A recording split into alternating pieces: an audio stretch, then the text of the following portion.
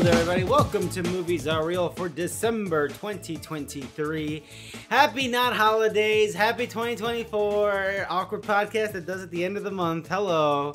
Um, we're here to talk about the movies of the month of December 2023, the last month, which is always uh, scary because then I think about, oh, we got to do like a four hour podcast. Right. Um, but it's the job we have to do. No one else is saying what are the best movies of the year. No one else is giving awards out there. Isn't that right, Ryan? I can't believe no one else has thought of this idea.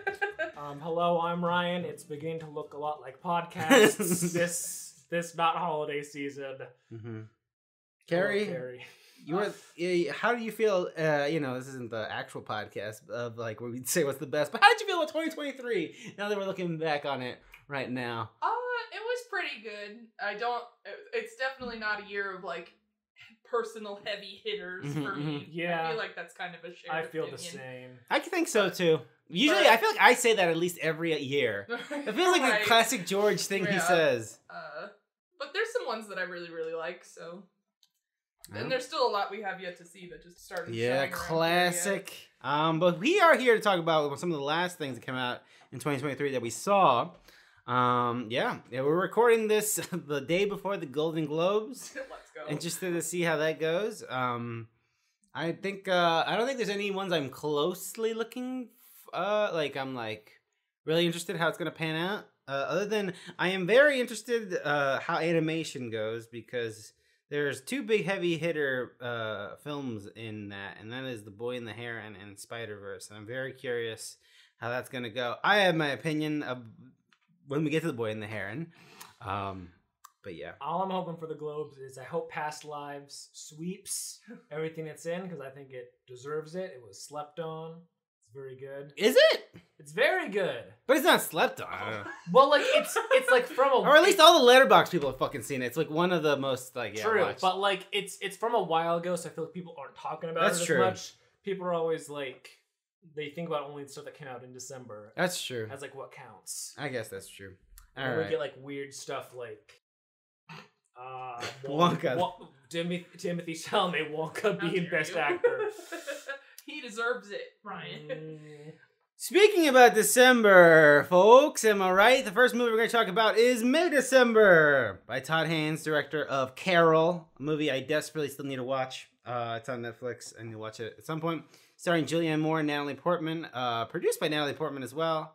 Um, yeah, this is a movie here. I apparently May December is a phrase people said. Mhm. I I- never yeah, heard it in my yeah. life. I looked it up because it's like uh from what I saw, it was a phrase meaning an age gap relationship. mm. But that's what I saw. I I'd never. I've never heard of I've heard that phrase, a May December relationship. I just never asked or figured out what it meant. Apparently, it means when you're in your 40s and you're dating a. Char- I was gonna say Charles 13-year-old. Melton's character also didn't know what it meant, and then Julianne Moore had explained.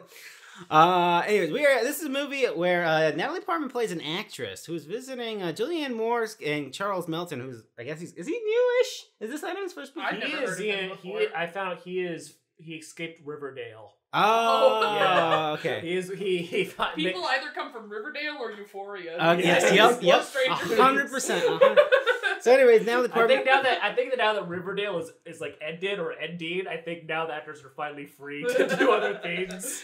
Julianne Moore uh, got into a relationship with uh, Julianne Moore's character. Uh, Julianne Moore. I don't know her name anymore. Julianne Moore is playing a character in this movie. This is not about actress Julianne Different to Moore. other movies Where we she- discussed. Yeah, Or where she had a sexual relationship with a 13 I think so.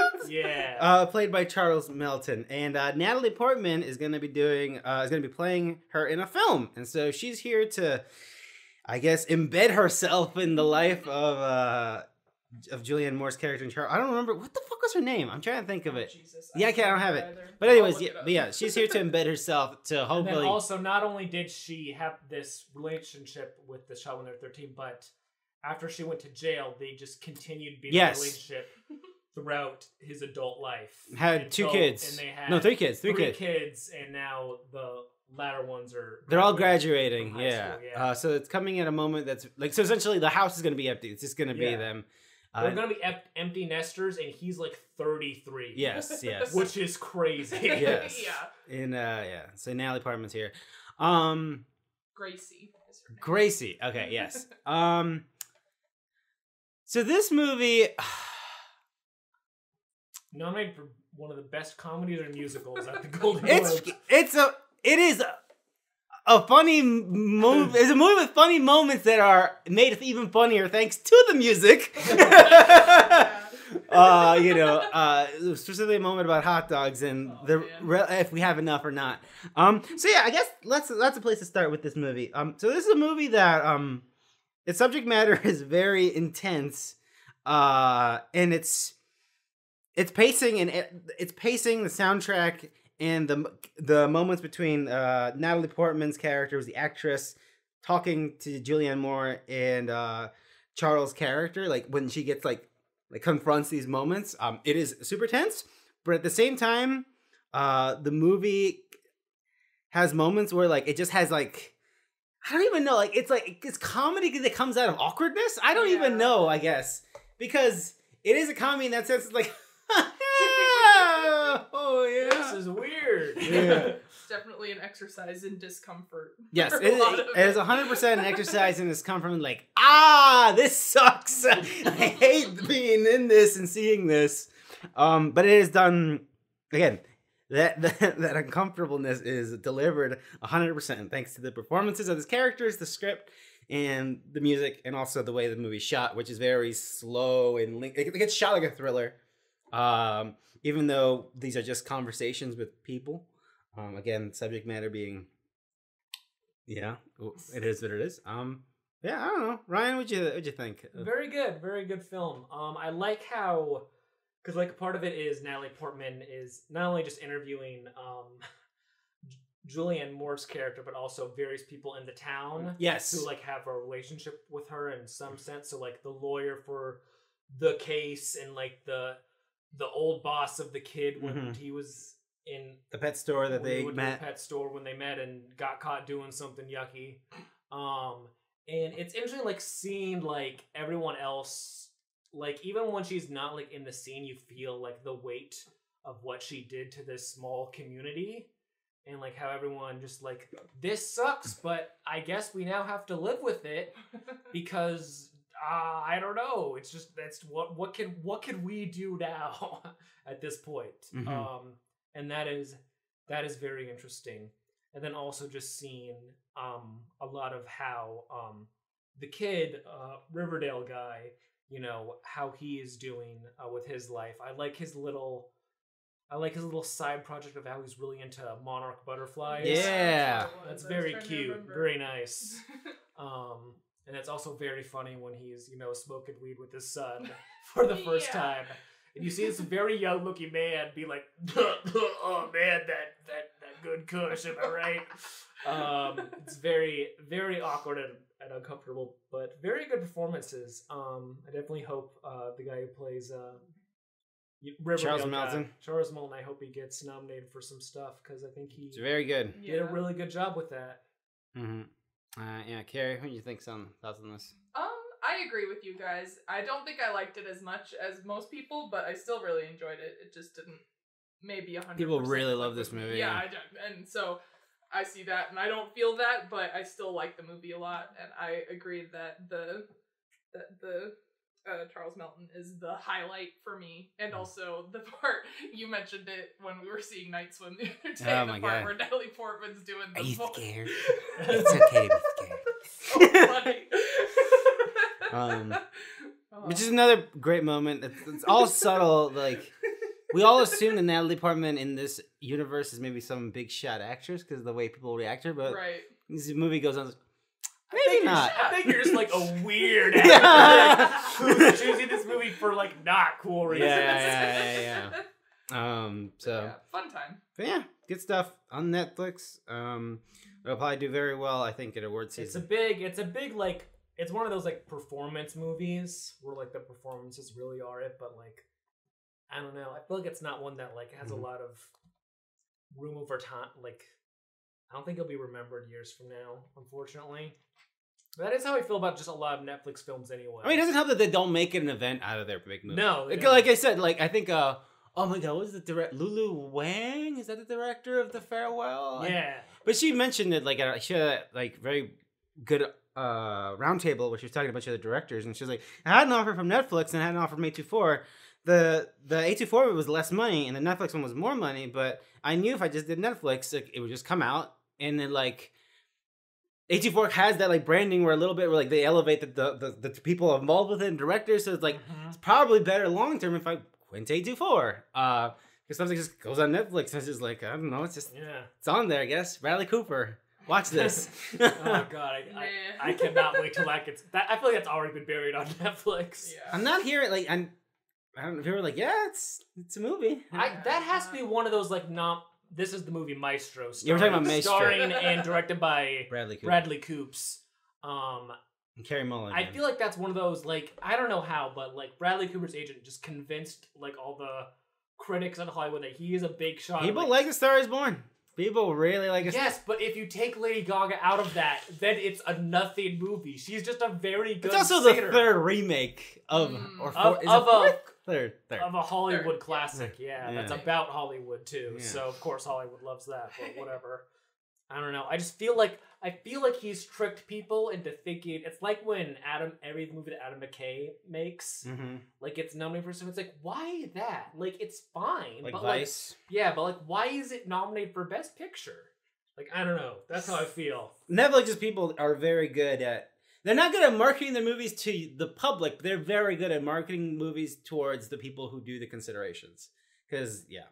Anyways, But then the mo- then no one makes any money but that. Yeah, exactly. And And do they make money? forgotten about. It's a question if they do. The executives definitely make money. Again, everyone else does not I, this, make has been any a, this has been a big year of everyone asking streamers like, so like, how does this make money? Actually, because how does Killers of the Flower Moon, a movie that cost two hundred fifty million dollars, and Argylle, a movie that cost two hundred fucking million dollars, how does that help Apple? I don't know, but I hey, I like Killers of Flower Moon. I don't know about Argylle. I wouldn't market it as from the twisted mind of Matthew Vaughn, but whatever.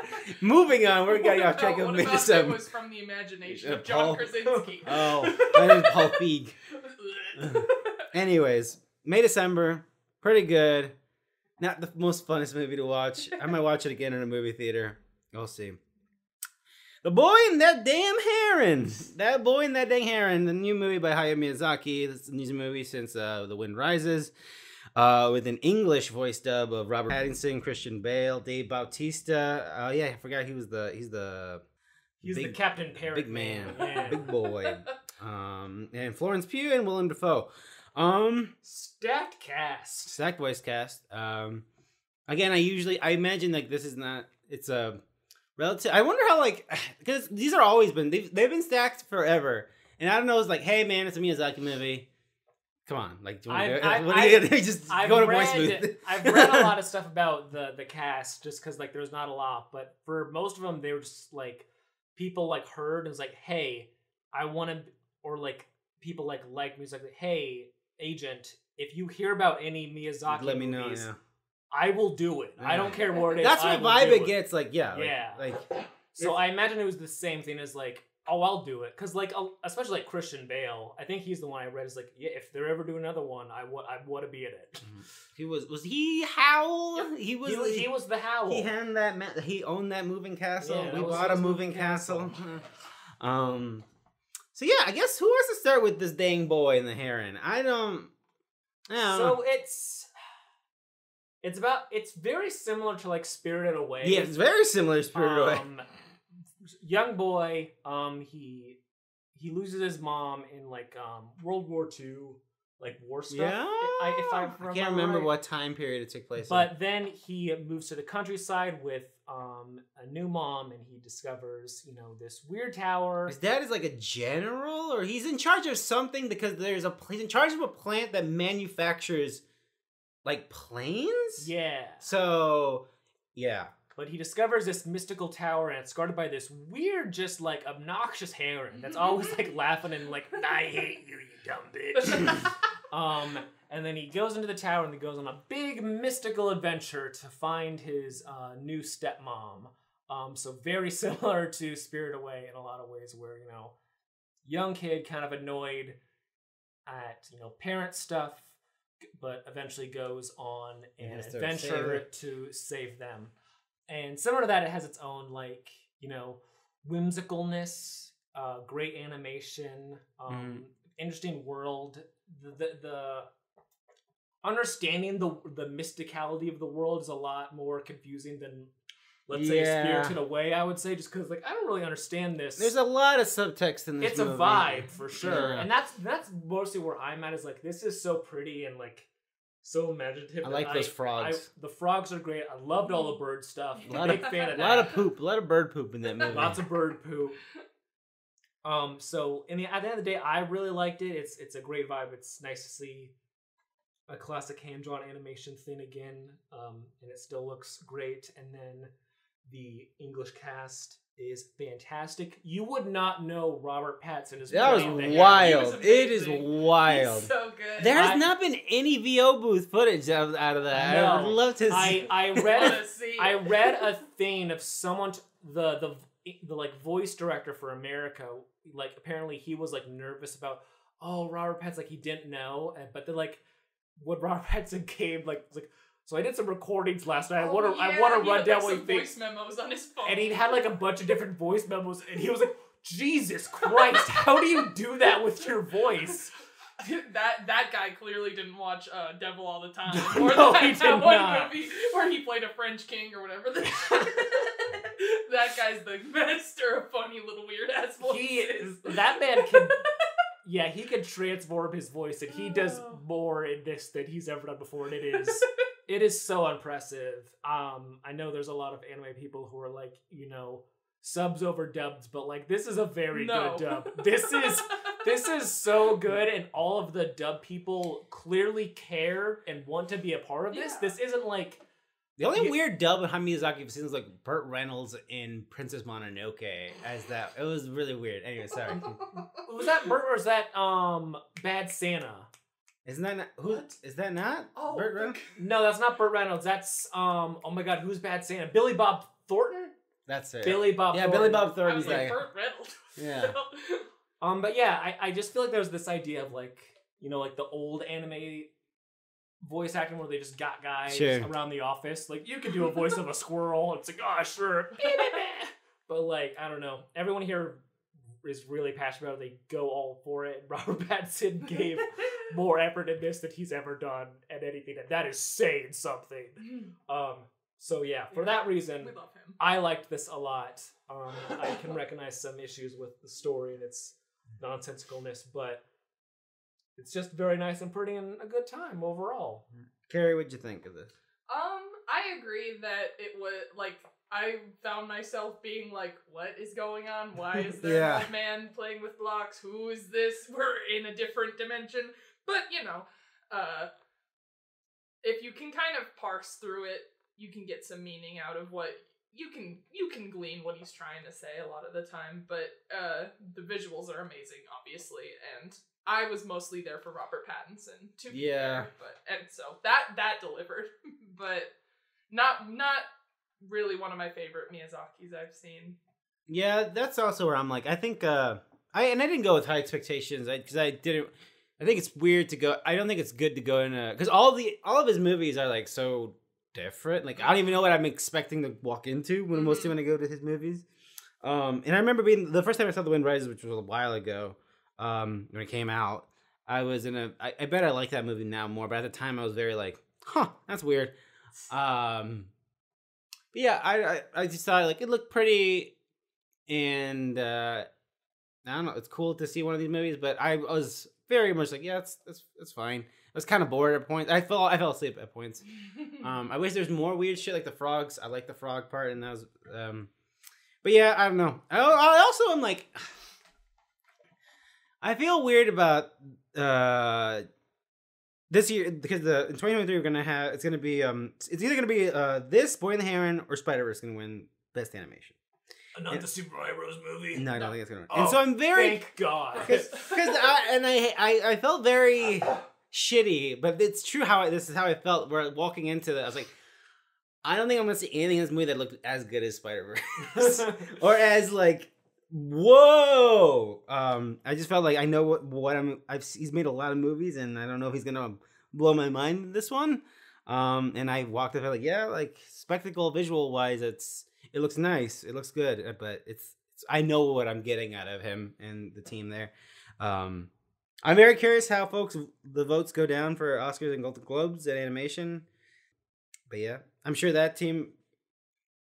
If the the animation Oscar is always weird because it's like it's usually Disney or right. something else, but uh, it'd be cool. It, it, I feel good that the Spider Verse team is gonna win. and I think I'd imagine it'd mean a lot to that team that made that movie. They'd be like, "You sure?" um, because that movie looks spectacular. Um, but yeah, this movie's fine. It's it's all right. It's uh yeah. There was again. This is probably the mo- well. I don't know if it's how, where it ranks in uh, U.S. box office for Miyazaki movies, but I know it did very well. And when the movie theater I went was packed with like pe- young kids and and adults, which Mhm. this movie is maybe not the most kid friendly. This movie has like a kid get fucking nuked in the skull, like concussion, just like fucked for the rest of his life. Like, so he keeps on walking, or he just bashes his head in and starts bleeding. But anyways, there's a kid behind me. I was like, "Mom, I want to go home." Stop! Oh, I've no. waited ten years. exactly, exactly. And the dad's all like, "No, you don't understand." um. So yeah. Anyways, uh, Boy in the Heron. It's all right. Um. This isn't for you. You're my excuse to see this. Yeah. I saw the I saw the Paw Patrol. Oh, I saw Five Nights at Freddy's. This is for me. um, completely different, not animated. Eileen, uh, Anne Hathaway, Thomasin McKenzie, uh, based on a book. I don't know if it's the same name. Mhm. Is it? Yep. Okay. Um, this movie here is sort of a thriller. Uh, Thomasin McKenzie plays uh, I think it's Boston. I think it's Boston. It's somewhere around there. Yeah, that seemed like what Anne Hathaway was doing. Yeah. Um, I didn't like Thomas McKenzie's accent. Anyways, yeah. Eileen, movie about uh, Thomas McKenzie works as a sec assistant at a At a, she's at a, a juvenile prison. juvenile prison. It's like what her administrative. yeah yeah because she's, she's supposed like to do an office, administrative assistant. Yes. but uh, she gets more involved than she maybe should have. That's why I was confused. I was like, I don't know if you should be doing this. Um, and uh, Anne Hathaway is the new director of the facility. She's coming in after the old one left. She's doing like therapy. Yeah. She's the Psychologist. Mental, mental health in charge. Yeah. Lady. This takes place. Was it nine? Is it ninety or eighty? I can't. Oh God. I'm not It's sure. definitely a period piece. Yeah. Yeah. It's older. It's older. Um, and so yeah, r- right away, A- Anne Hathaway uh, takes a specific interest in the case of one young man, and uh, what's up with that? And Thomas, no, not not Thomasin McKenzie. Well, like, well, all the guards were like, he's fucked up, man. He killed his own dad. Fuck that guy, or whatever the Mhm. hell. Um, and uh, Tom, 60s. sixties. Oh, okay, it was really old. I guess that checks out. Uh, and Thomasin's character is uh, really interested in Anne Hathaway because she's really cool looking. She Mhm. smokes. She smokes a cigarette, and she's, uh, you know, she's got the big blonde hair, and she looks at her like, you know, with her eyes half closed, like, you know, it looks really cool. She's really cool. She's very cool. She's very pretty. Um, and so she she like wants to get close to them, and then they wind up. They go out for drinks, and uh, that means a lot to Thomasin, and uh, The she, regular healthy friendship. yeah, ro- uh, an interesting working relationship happens, and then stuff gets even weirder. Listen, that's just what it's like to have gal pals Okay, from work, okay? Um, yeah, I don't know. Carrie, what'd you think of this movie? I thought this movie was really awesome. I just like immediately from the get go with the cool font at the beginning, Yeah. I was like, now this movie's gonna slap. Just because you can just tell all of the style and all of the like femme noir weirdness Mhm. is just all we're here and we're, you're strapped in and you're just let all of the unpleasantness just kind of happen to you. And Which is not in the marketing. No, no, no. I mean, I knew what to expect Oh, because okay. I had read the book. Oh, okay. so I was like, Okay, let's gotcha. go. All right. Okay. but uh, so yeah, it it was fantastic, and I think this is the first time I've liked a Thomasin McKenzie performance. Like, I, Yeah. her accent's a little. Well, yeah, what about but, like- old? Uh, wait, I need to watch old. At the time, I was like, No, "What I- planet are you from? Why are you talking No, like to be this?" clear, I love old. Like, I don't think anyone gives a great performance in old though, except Vicky Krieps. But I just love her. But uh, but yeah, because I think this is the first time I've seen her play like a little weirdo. Like, I, I feel like she's always played twee. Yes, that's that's a big thing. I like, think. Yeah. now this, now this fucking works. You being a freak works. I like that. But so that was fun to see, and I think uh when I uh the the author of that book, Ottessa Moshfegh, Mosh, I don't know how to say her last name, but she's extremely popular, and this is my favorite. I read a few of her Oh. books, but this is my favorite book of hers that I've read, and I'm glad that it was the one that got turned into a movie. Yorgos Lanthimos was originally attached to a, a making of one of her other books called My Year of Rest and Relaxation, which was set to star Emma Stone, but I don't know if that's actually going Ah. to happen. I think that might have turned into Poor, Poor Things? Oh, okay. Interesting. All right, uh, Ryan. Uh, yeah, I like this a lot too. It was it was a lot of fun. I love a good, a good, nice, easy thriller. Um, I like I like Thomasin Mc- I, I like the idea of Thomasin McKenzie. So seeing her in something a bit better is nice. Um, I wanted to ask Carrie if this deviates a lot from the book. Yeah, me too. I was or if curious. This No. pretty much. from from my memory of the book, this is pretty pretty standard. Okay, I don't remember. I don't remember any glaring things that have been left out, but it's also been quite a while since I read the book, Okay. so I don't have a play by play in my mind. I meant to reread it, but I didn't get around to it. Yeah, I just love any like kind of thrillery kind of stuff set in the '60s. It is it's just like a good look. It reminds me. It's obviously a very different movie from like The Shape of Water, but like the look of like the prison and the look of like the weird government place, like that aesthetic is kind of similar, and I'm big fan of that, baby. That's all I gotta say. Um, yeah, I love the vibe and look of this movie a lot, and uh, I, I, my, I feel like um, my high rating on Letterboxd and my like, I like this is like an eight out of ten for me, and I think it's a lot of vibes and a lot of just style. It's a lot of the tone.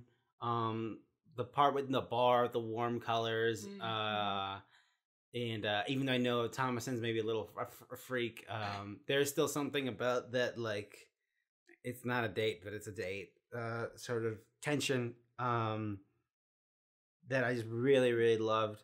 Um, and I also fucking loved the. I mean, I didn't love. I just horrified the climax of the movie uh, where we confront um, why why did that kid kill his dad. Um, I was like truly. I've seen a lot of fucked up. Unpleasant. It was really like that was horrible. Yeah, we get a lot of we watch a lot of movies with a lot of fucked up monologues. This Yeah. might be one of them. That was awful. Yeah, that was horrible. Yeah, I remember reading that and being like, I I don't. Oh. It's like, oh, you can really put those words in a sentence together, can you? That's crazy. oh, should you? I don't know. It was I mean, really rough, Yeah, yeah. that sucks. Uh, so yeah, I mean, could you say that is Anne Hathaway maybe overacting? Maybe a little. I don't know. I think there's I she's. disagree. I think she's a little like. She's clearly like troubled by like what's going on and how deep she's gotten into the shit. Mhm. Like, this has gone way too far. um uh like the the wine bottle like the whole like i could see got someone say like that whole section when they're at her house yeah. uh people say like this is okay but um it just it it just feels like uh she's having a lot of fun with the role Mhm. um, oh, that build up at her house. it's really is good very it's. I like that a really lot. good You can you can tell that like there's something weird going on, and I won't spoil it, but it's very good. Yeah. I like Good that part a lot. yeah i really really like this movie i think i would probably like I don't know why I'm so reserved, but I don't know why I'm so reserved. I got really, really like this movie, and I don't know if it's just because um, I don't know why I feel like I I think it's. You can say it's because Anne Hathaway's hot. she is very pretty. She's very very pretty in this That's- movie. that's Her 100% big I'll- eyes I'll and that blonde hair. No, no, no. It's like, and she's smoking, and she's so cool. yeah. um, but yeah, this movie's great. I want to watch it again.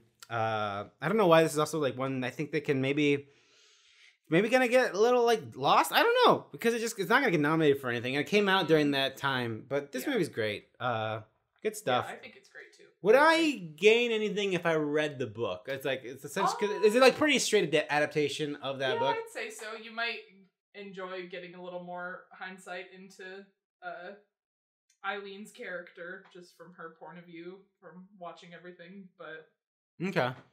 if if you're curious, it's a quick read. It was only like 260 pages, I Okay. think, so Cool. you can fly through it. Yep. And also this movie's also pretty short. Like there's not that many stuff that happens in it, but it's pretty good. Oh.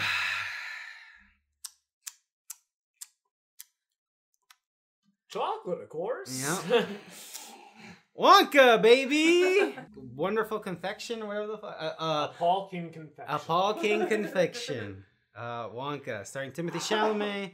Uh, Calah Lane? Is that the little girl? Mhm. I don't think I've seen her in anything other than this. Yeah, I don't think so. Is she on uh, Riverdale? Um, Oh, That's probably. a great question.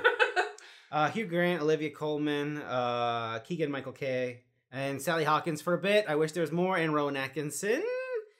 Who's Rowan Atkinson? he was the priest. Oh yes. um. So yes, this is a musical. I'm gonna say adaptation of Wonka. It's sort of a prequel, I guess. I don't fucking know. You get to see how, How Wonka- Willy became Wonka. Not an adaptation of doesn't Roald make any Dahl. sense. Not an adaptation of Roald Dahl's. How George became Cruise Exactly. Um. So yeah, I don't know. There was a the first the reaction, the roller coaster I went on this. On my personal ad, uh, anticipation of this film was that first trailer and being like, "What the fuck is this? this is insane. This can't possibly." That's be. how I felt when I read like the press thing of like Warner Brothers Studios making a Wonka prequel starring Timothée Chalamet. It's like, huh? It's like fake YouTube thumbnail shit. Like what? um, and then I sat with it a little bit more, and then I rewatched Willy Wonka the Child. I was like, well, I guess this one's a musical. It's not that far off. Uh, and then I was like, okay, maybe it'll, you know, okay. And then I watched it. I was like, that's pretty good. Hey, Like, after the reviews came out, after the reviews, like, it's good. I was like, what the fuck? And then I was like, oh yeah, it's pretty good. They weren't lying. It's it's all right. Um, yeah, I don't know, Carrie. You you- you're a fan of musicals. You're a fan of Paddington Bear. I love Paddington. Holy shit. Apparently, that guy at the toll booth is a guy, or he's I don't know. He's He's a, appeared in all the Paddington movies. Uh, he was a recurring character in both Paddington movies where he's the security guard who keeps thinking that whenever there's in both movies there's a part where one of the older male characters has to disguise themselves as a woman and this guy is always a security guard who thinks that that woman's really hot. It's a good It bit. happens two times.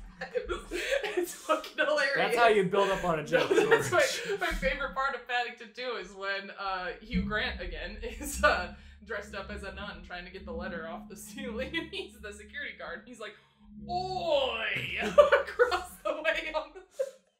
It kills me.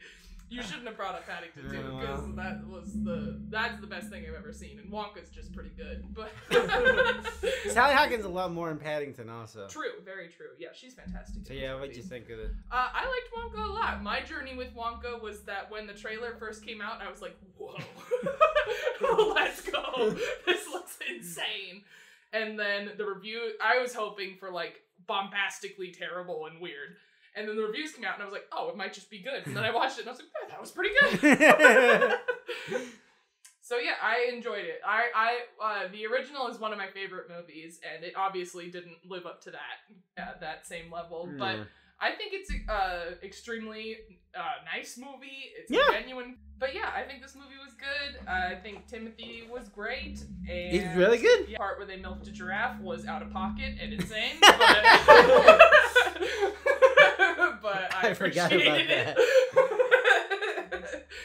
but yeah, I think it's a great movie. I had a fun time. yeah. Ryan. I I liked it this more than I wish I did. Um, And I think I think the reason for it is, you know, if you take this movie and you replace Willy Wonka with Paddington Bear, like that would be the best movie. Paddington's I've a ever chocolate seen in maker. well, like life. like for the most part, that movie the movie would work almost exactly the same because you could So you could see Paddington not read a manuscript or whatever and get Yeah. and get and get trapped in a weird Oh, hotel. no. And then he has to work his way out, you oh, know. Oh, he went to jail. Like you could see that happening to him, and him be and him being in all the situations, and that's how it works. And this is basically just a Paddington movie. Um, and that's what I liked about it. And the humor, especially from the supporting cast, felt like supporting casts from a Paddington movie. And that's probably just because that's how Paul King writes these more family friendly, you know, comedies. That's that's just his style. But still, very good. Um, yeah, none of the songs did much of anything for me. Um, and ah, I don't know. I felt like at one point they were trying to do like a romance thing between Wonka and like the girl. Did anyone feel this? I, I, well, I mean, like, I could see that being a romantic scene, but then I was like, wait, she's 12. Yeah, I know. Because like he's singing songs to her and like it feels like a bonding moment. It's like, how old is she? And how? Because I remember like, wait, how old is she and how old is he? Because that changes like what this is. And yeah. I didn't like that. I feel like Timothée Chalamet did a good job of depicting Willy Wonka as a sexless being. yeah, which that I- true. yeah. That's real. I That enjoy is that. true. I Yeah. that. this man doesn't fuck. Yeah. Um. I do like also the idea of this is the beginning of his career when he's like young and hopeful. And you watch Yeah. the original and he's just like, Then he I becomes cynical, yeah. I hate them. They stole my damn recipes. you get nothing. Good day. yeah. Very funny to think about that that progression. Does this does the Timothée Chalamet Wonka grow up to be the original or the awful terrified um, Johnny Depp one? So that's the biggest thing. Has anyone kept the box office for this? I'm gonna look it up because I don't know. I don't know if this is going to because I think like Charlie and the Chocolate Factory de facto became a generation's Willy Wonka. Mhm. I don't know if this will become that. Uh, I know it's done. I know this has been the Christmas movie mhm. Mhm. because like I, I hypothesized on that and There's then I was nothing else. Yeah. Because like no one was gonna see Aquaman two, obviously. So people are just like, I guess we'll see Wonka. Four hundred million, so it did okay. It made its money back, I bet. Maybe, but it's not. A, I don't think it was Charlie and the Chocolate Factory numbers. Let me look. In my head, Charlie and the Chocolate Factory, because I was hyped out of my mind to watch that movie when I was a little kid. So Same. I assumed everyone else in the world was excited. I'm assuming that made fourteen billion dollars. me and my- four hundred seventy-five million USD.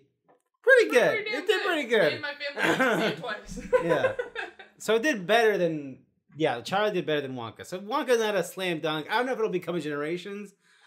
Uh Willy Wonka like entry point. I think it might just be Charlie or Willy Wonka. yeah. Um but yeah, I don't know, I thought this was fine. Like I said, I think this is the most impressive thing I've seen Timothée Chalamet in. I haven't seen Bones and All. That's a Uh yeah. He's uh, very he's very melodramatic Classic. Timothée Chalamet in it though, so if you don't like that, you wouldn't really like that performance. But that movie's fucking awesome. Yeah, I I saw like a few people saw the Timothée Chalamet before- singing was embarrassing. I was like, He was good. he was fine. He was Yeah, pretty good. Yeah, he was People, totally people just hate musicals. Yeah, I think so too. I was like, that was fine. I was I I think uh the biggest thing I came out was like sincere. I this felt I, I believed his character was genuinely this like hopeful and Yeah, like it was didn't feel nice. like he was forcing it. Like the songs felt like they felt the character, and I was like, yes, that's fine. You should play more characters who are happy. Yeah. Maybe. And not just like not with that bone structure. Oh, that's true. and not just like there's sand everywhere.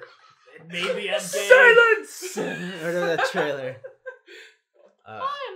Paul Atreides. Uh, Bene You've been fighting them for a decade. I've been fighting them for 500 years. We're all That's gonna have we're all gonna have to rewatch Dune, right? Because none of us remember what the. No, I don't fuck remember Hell a no. single thing I'm gonna do. Bene Gesserit, y'all remember that? I need I need to rewatch that movie like hours before we watch Dune 2, just so I can really little time between the I cannot forget anything. Ideally they do a double feature like, oh thank God. I can just I can just enjoy it. I can just- Oh, yeah. I'm gonna need two beers and a cheeseburger for this bad We all gotta order two beers when we go see Dune 2. um, but yeah, I thought this movie was completely good. Yeah. Totally fine. So good job, Timothée. Good job, Paul. Keep Paul. at it. As I understand, you're gonna another Paddington movie. I don't know if he's I attached think to a he's- Paddington movie, so that is. Oh. respect. I think he might just be Be a, a producer, producer? at Right. most, but he's not directing it, Yeah. which I'm worried. yeah. concerned. The- I the- love I love my boy, and also we do have to remember the factoid that we saw that Olivia Colman joined the cast as a lady who runs a retirement home for bears. So you know what? Maybe actually it'll be a great. Mm. You know what, Carrie? That's a good point, and I want to be help- hopeful. But like the the dream was this would be the de facto best trilogy in cinema history, and we were so and we're so, so damn close. Close. It could happen. It could still That's what I'm happen, but like the prob like if Paul could get back to, to direct, it would have been it would have been a no It's- doubt. This yeah, is it's the not best. a surefire thing anymore. Yeah, we it- gotta we gotta fight. we for gotta it. we gotta believe retirement home for bears. that is hilarious. I'm so excited. Oh boy. Well, Ferrari, folks. Michael Mann's Ferrari, starring Adam Driver, Penelope Cruz, and Shailene Woodley. Um, this movie uh, chronicles a very specific uh, moment in time in Enzo Ferrari's life post World War II, where uh, TV is not that big of a thing. Uh, TV televised races is not really a thing. So Ferrari is a name, but it's kind of a name in Italy, and people who like rich kings and shit who like went to Italy. It's like, oh, this is the most expensive car we got in Italy. It's like, well, I'll buy it. So it, Ferrari's not like. Everyone knows Ferrari. Like you don't have to know about cars to know that's a expensive brand. Um, and so uh, Enzo's on the ropes. You know, uh, yeah, I have to hold all the cards. But that's the cards on my hand, as Penelope Cruz says, and he has to hold all the cards. He has to make a move. Um, you're out the money. How? Uh yeah. So yeah, so he is at a point. Uh, th- there's a big race happening, and the thing is going to be televised. And so, what they want to do is like, okay, let's maybe sell it. Let's maybe find an American partner. Except he doesn't. He, he just wheels a way to get Italy to pay for, pay for him uh, to keep in business. And let's win this race so we get a bunch of publicity. And so then we can sell more. We can make more cars and sell more cars because now people, more people know what Ferrari is. So it's a long shot. It's kind of like Ford versus Ferrari, but the other way, where Ford was like, ah, you know. Um, and so yes, but of course nobody cares about that. People care about uh, fucking uh, Adam Driver being an Italian man and uh, Penelope Cruz being his wife who hates him and shoots him in the uh, to wake up to be like, "Good morning, husband," uh, as the fiery Penelope Cruz does. Um, so yeah, this movie. Everything in everything in the trailer that got me excited about this movie, this movie delivered. nice. A- Adam Driver being Italian is all fucking hell, waxing poetic about how our, our terrible passion, our beautiful joy. All of us are racist. Uh, two objects in motion cannot be in mo- cannot be in motion at the same. Two objects cannot exist at In the, the same, same time, point. yeah. the same point in time. Am I a sportsman or am I a competitor? Um, so yeah, Italian. yeah. So that that this movie is uh yeah it delivers uh on it is a good movie about a very wildly charismatic Italian man with a lot of power who is fine having his drivers die in order to the legacy of Ferrari Mhm. uh, and what it means to be a race car. When he says like, "Am I a, am I a sportsman or am I a competitor?" You get in my cars, you get into winning. Meaning that when someone when when those two objects being like a car's here, his car's here, you're gonna cut that guy off. He's gonna fucking die, or you die. But like, so you can't let him go. Essentially, it's like you can't make it let him pass you and like, oh, I don't want to die or kill him. Like he can go, whatever. It's like no, no, no, no, no, no. You get in my car, you get in to win. So that is what this is about. And uh, Penelope Cruz finding out that he's cheating with Shailene Woodley, which is crazy Yeah, to me.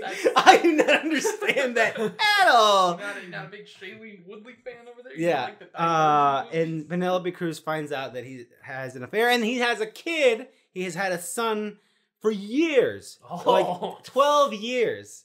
Uh, and her the son they had died of uh oh I forgot what disease, but he but he died. Uh, and since since the, the their kid died, it's been awful and Penelope Cruz has been a mess. Uh, and so now we had a moment where like, okay, now the company's gonna go under. Penelope Cruz, who like as we was in the trailer, half the cards are in my hand. She owns half the company. Uh, so yeah, that's that's what the boiling pot here. It's the movie. Um, and yeah, that's great. If you if everything I said, like you want to see Adam Driver be passionate about cars and about how he needs to win and about he loves his son, um, this movie's for you. Driving, I don't like. I think the car scenes are okay. Mm. Uh, there's they use some CGI in this movie, and I don't think it looks very good. In fact, if you watch that first trailer and if you look, if you actually pay attention to that car, the crash it car looks hits awful. the- yeah. It looks horrible. uh, it looks better in the movie, but yeah, I think I don't. I think if you're a car guy, if you like Ferrari specifically, maybe you'll get something out of this movie. But I'm mostly Michael Mann. I, someone on Letterboxd said, uh, I don't mean to shock you guys, but Michael Mann made another movie about the terrible weight about being a man. Uh, and that's what this movie is. That's what this movie is. It's like legacy. I gotta have a son. The, the, the legacy I've made before. Uh, I love having sex with women. Go. My man. so yeah, uh, I think this movie's great. I don't know if it's gonna. I'd be I'd laugh if uh if we got a lot of noms. mainly because it just feels like so old Oscars. Like in a world where it was mainly men who controlled this industry, they would have been like, They'd be like, hell yeah, bro. "That's fucking right. That's fucking right." Uh, but I don't think I don't I don't know if that's gonna fly. I think the soundtrack's beautiful. I love the soundtrack. Same composer did the Spider Verse soundtrack. Um, Ah. and Penelope Cruz, a lot of, and again, people be like, Penelope Cruz eats in this movie. It's like, dude, she has like a few lines in this movie, and she's just great because she's Penelope Cruz. she's just in this movie, and she says something. She yells really loudly with a Spanish accent, and it's great. She shoots a gun. It's I get it, but she's not. She's not pushing her range here. Um, but Ferrari, I don't know. Check it out with you and your dad, maybe. I don't know. Um, Your dad has already bought the ticket. I'm assuming does anybody here have any interest in Ferrari? Other than Adam was- Driver being was like- Italian. yeah, I and was that- like, that's oh, that's- another movie where Adam Driver plays an Italian man where he has really rough sex. Uh, really Oh, aggressive sex. Hell, That's now it. I'm Sorry. On board. If this gets nominated for Best Picture, That'd it, be wild. it'd be wild. But then I'll then I'll watch it. Yeah, 'cause- I mean that's why I watched Ford v Ferrari. yeah, because I that movie was okay. Yeah, was pretty good. That's a better movie, I think, than this. Mm. That's what I'll say. Uh, less funny, but uh, Right. but it is a better movie, better car movie also. I see. All right. Huh? it's got two kinds of cars in it. That's Mhm. uh, wow. Well, let's, let me check the box office because uh, again, this seemed like a a big swing for Neon. This felt like some Parasite money, uh, Mm. and I don't know. It came out on. I, I truly don't know how. I I think there are way too many. There's too many genre specific type of movies on Christmas. There wasn't a big other than Wonka. There wasn't like too Some big. that anyone could. Yeah, it's a lot of like pockets, and I'm like, I, are are we making enough money? Everyone guy, Color Purple, are you making enough money? Money, uh, Ferrari, are you making enough money? Like, uh, yeah, I don't know. So let me look at here. Ferrari made yeah twenty million dollars, so not that much, but I I doubt the budget was that high. I don't think they didn't blow up an actual car. I don't think so. you know. All right. Speaking of uh movies for about boys and uh for the boys, For the boys. um, The Iron Claw, uh, starring Zac Efron, Jeremy Allen White, and I don't know anybody else in this movie. Harris Uh, Dickinson. He was from Harris Dickinson was the guy from Triangle of Sadness. Oh, you're That's right. the main guy. that is him. Mhm. Huh? His haircut really fucking threw me off. He's in disguise. Yeah. Um. Uh, oh, and Lily James in this as Yes. a very Lily James character. yeah. Yeah. Um. Yeah. I could tell from like the trailer. like, oh, Yep, You're uh-huh. just doing Baby Driver. Yeah, you're, That's just- cool. you're, you're like you're you're uh you know you're like this guy who's just he's just, he's just there's something in him he's just special. You're here to support his dream, you know. Um, so yeah, Iron Claw is a movie based on the life and times of the Von Erichs, who are uh, old, old timey legacy wrestling a family back when the, the things were just territory. There wasn't a WWE that was like this is the wrestling company. There's just a bunch of pockets of different wrestling companies across the United States, and the Von Erichs' um, father owned uh, one of them. I forget where, but yeah.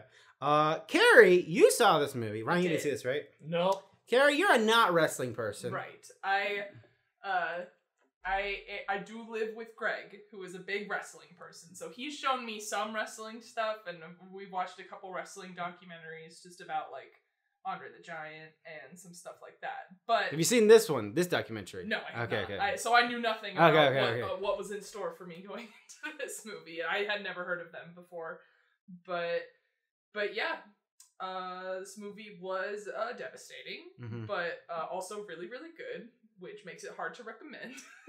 but uh, but yeah, basically you can imagine it's just this dad who was a wrestler Mhm. and uh, he wants to instill his fucking uh, big timey I'm a wrestler attitude into his sons. Mhm. Dreams that he never was able to accomplish. Ex- yes, and uh, the results are mixed. Mhm.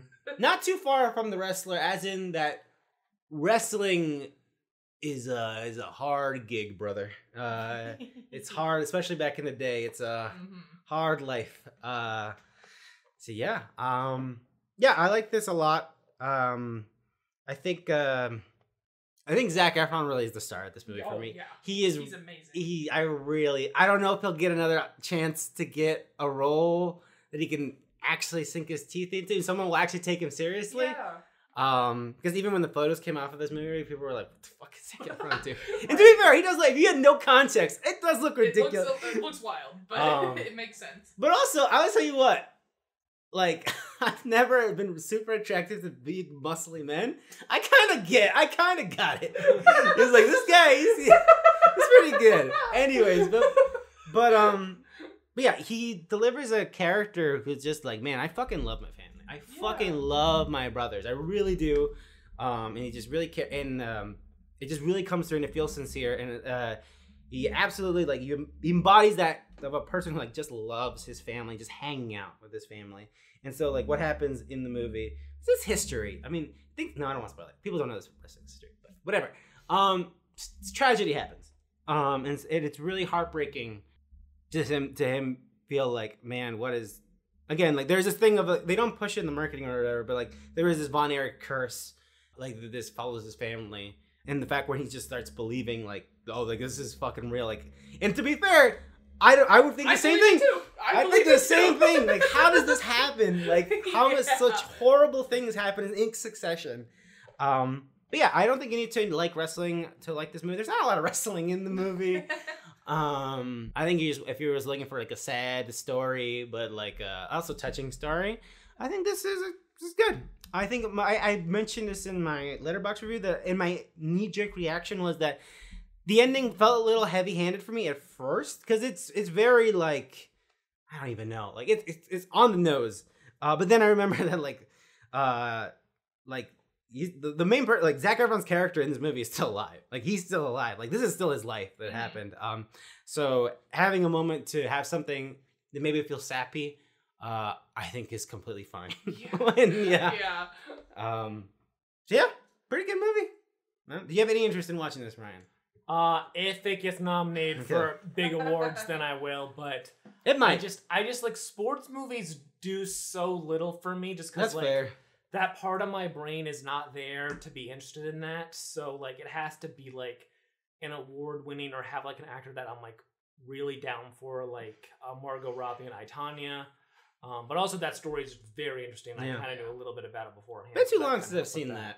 I need to rewatch that again too. But yeah, I, I'm not opposed. I'm not like no, not for me, bub. But it's just one of those like, yeah, maybe. I'm the same way about sports movies, but I will say that this connects a lot more emotionally than like an emotional basketball movie or Oh. Sure. like an emotional football movie because it's just like you get to see the characters existing in the moment in such intimate fights and also just it's a lot more of their interpersonal relationships and it's just it's a lot but it's really really Hmm. good i liked it mm-hmm. They don't. They're not doing this to save a rec center somewhere. no absolutely Okay. No, absolutely not. Um, yeah, it's pretty good. Um, I again, I strongly recommend watching the documentary. Yeah, I, I- I think I'll check it out. Well, the I'm I'm as a, a AAA twenty four member, I am subscribed to their zine, and the zine that's coming out is a Von Erich zine. Yeah. So I'll be reading that. I think that, and there's a wrestler in the beginning of the movie called Bruiser Brody.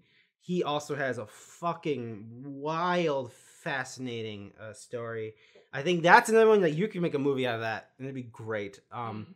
But yeah, and those are two stories, also the Von Erichs and Bruiser Brody. Those are stories that are so of old wrestling that no one knew. So like when they did those documentaries on Dark Side of the Ring, which is what the series is called, I was just, just like, I had no idea. And this is wild. Why isn't this story? Oh, it's because it's not WWE. And they're also not Yeah. positive stories, so Yeah, yeah. that's why they're not shar- shared. Um, but yeah, Dark Side of the Ring, check it out, and the, and that movie. You did watch Rebel Moon Part did- One, A I- Child of Fire, I though. did watch That is Rebel something Moon you Part spent the two hours and thirty ish minutes of the time you have on this I, I earth. want. I just want to emphasize. I watched the intro of it. I got tired and I picked it back up the next day. Um, Okay. Right. so you had it out. Two And you- days. and you I, I couldn't. I could have just left it at that, and I was like, no, no, no. I I, got gotta do it for my boy Zack my boy. My boy was cooking, and I gotta let him finish. Um, but yes, this is uh, this is Rebel Moon Part One, A Child of Fire, a Zack Snyder film. Um, Sofia It was- Boutella. yeah, it it was originally pitched as a Star Wars spin-off when Disney bought LucasArts. He came to them and he pitched them an idea, which was basically um, Seven Samurai but on Star Wars. Um, and they're like, "Oh no." Uh, but but he liked the idea and he kept the script um, and he just basically reworked the script to his own thing for Netflix and it is not very good. Um, I would say it's probably I re- Sucker Punch is his worst I was movie. gonna ask you, Sucker is Punch is worse his worst movie, Punch? but this is this is next to Sucker Punch. This is absolutely dreadful. But Sucker Punch is fascinating. It Yeah, is that's true. fascinating. This movie is not Okay, fascinating. that's what I thought. it is very boring.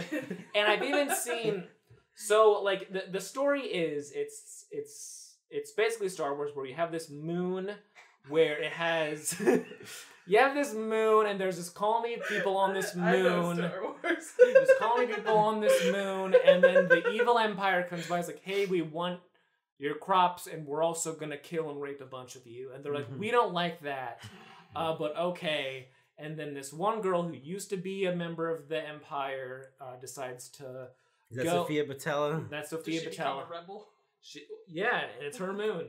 Um, and she goes off on a venture to find to like basically search for warriors to like join the fight against the the the empire basically um and it's bad it's bad for a number of reasons and it's also just fascinating as like what is trying to be a star wars movie because it it begins with they're celebrating like a crop harvest festival which means that they're all gonna have sex after this big party. That's just a weird way to start a movie. Like everyone's gonna fuck. Um, I'm sure Kathleen Kennedy would have notes about that. yeah, she'd have some notes about that. And then, and then what's also fascinating as a Star Wars movie is there are two sexual assaults in this film. There's a part where after the Empire comes down, uh, and they're and they're basically you know controlling uh, the, the farm area. They like find a girl and like, hey, let's all do a, a big crime. And then like the boss comes in and it's like, hey, hey, hey, leave some for me, boys. And it's like, okay, cool. And Sofia Boutella has been watch. She watches it for a while, then and then very late decides to step in and she's like, you came. You you rushed as like she you didn't rush in. You watched for a while and waited until they were just about to do that, even though they were really talking it up. Um, and there's also a part where they basically, you know, in original Star Wars, where Luke and they're at that Oh, weird bar, Yes. and the guy's like blah blah blah. Talking blah. about the like, cantina? Yes. yeah, and he's like, he doesn't like you. I don't like you either. Yeah. It's like one of those things, Mhm. except a weird, weird, gross monster grabs a guy by the dick and is like, "How much for your toy?" Um, and it's fucking It awful. sounds like a Zack Um, Snyder movie. Yep.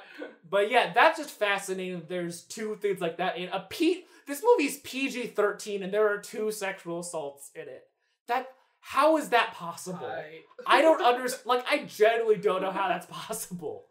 But what's also weird is is that there's already being talked about a Snyder cut of this Oh, yeah. because basically Netflix wanted a PG-13 cut and he's like, I want it rated R. I'm like, okay, how about you do both? And and all like the Sny- and like I've read stuff from like fans who liked this because I was what are people who are saying they like this about? And the consensus of people who like this are basically like, this is such a big build up for like what will be the correct version. I saw one like long review was like this is basically an hour and a half long trailer for what will be the greatest movie of all time. It's like, what are you do? What are you saying?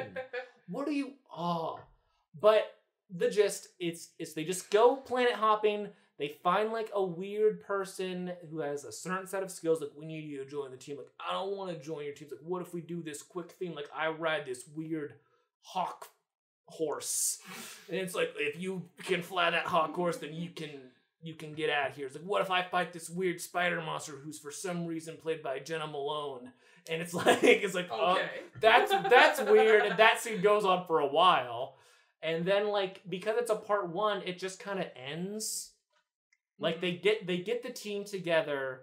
They they they run into the bad guy. Half of the team dies which is fascinating including ray fisher which is weird because like he's the one who's like vocally backed Zack Snyder the most Mm. Right. and then like he's in this movie and then Zack Snyder kills him off in the first one Maybe he'll come back as a robot. Or. I don't know. that's just weird. But then they do a big fight. They they think they kill the big bad guy, um, but then like they the villains just bring him back to life with magic robot thing. And then it's like, and he's like, I'm coming back in the next movie, which is also this movie because it's half of a movie. But yeah, it's mostly just boring mm-hmm. and like.